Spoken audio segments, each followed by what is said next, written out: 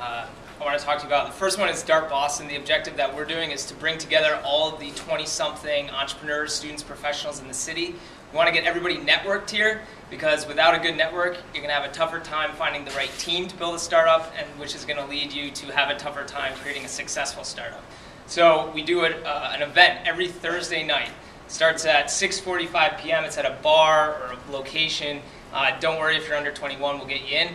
Um, but the idea is that we want to allow people who are starting companies who are on that 20-something uh, community to uh, be able to one promote what it is that you're doing, and two uh, to get feedback on your product. So you can talk to Stephanie; she's been on it. Jason's been a part of it.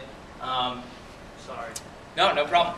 So uh, on top of that, uh, we're working on Pique TV, which is helping college students sublet their apartments faster on Craigslist. So if there are any students in here that are looking to sublet, I want to talk to you.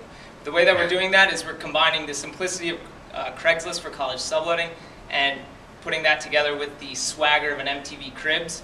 So you get to post the same content as you would on Craigslist on our site, plus five 30-second videos telling the story of your apartment. Those become your brochures. You push them to your personal social networks, your friends' social networks, so you can find somebody that you trust to sublet your apartment while you're not there.